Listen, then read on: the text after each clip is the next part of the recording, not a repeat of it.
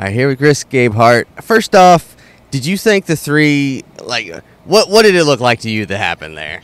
Uh, I mean, it what it looked like was he he drove into turn three way harder than any car could safely make the corner. His intent wasn't to make the corner, and he got in the back of 22, and they got into a mess, and you know got way up the hill, and 11 turned underneath of him off of four because we were at a speed where we could make the corner, and and then uh, you know clearly the three had regained control and and right reared us. I mean, I've, I've been I've been racing professionally for for 30 years now. I I mean, there's just there's no reason to sugarcoat it. That's what happened.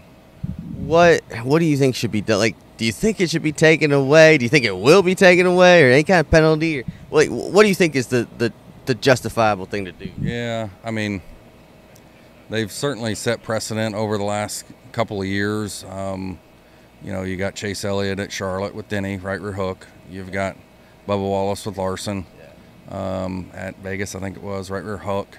You've got Carson Hocevar uh, in a truck race, right rear hook.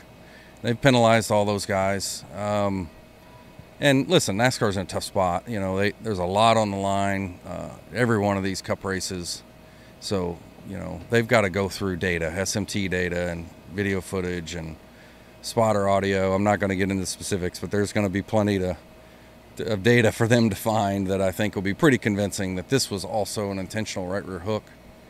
And um, you, you know, yeah, for the integrity of the sport, if that's what it's deemed that it was, I don't see how you can let the wind stand. That just doesn't.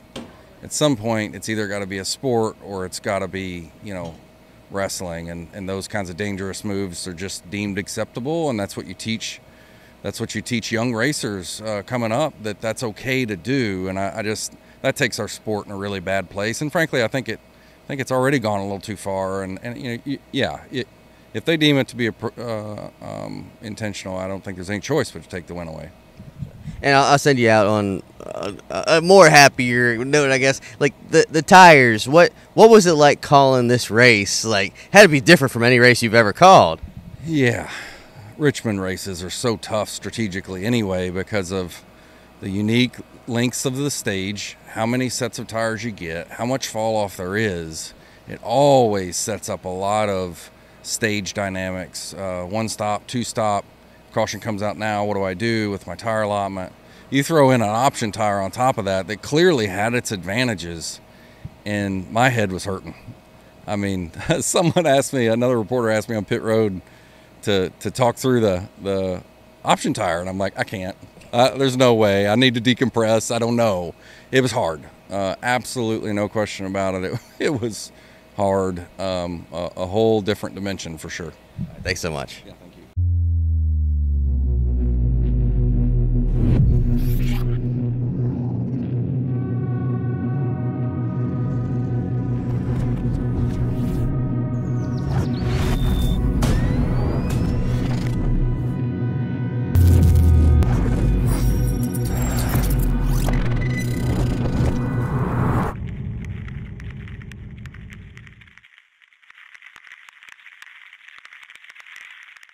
Kevin Nix with FrontStretch.com. Come back soon for more great racing videos, and if you like us, don't forget to hit that subscribe button.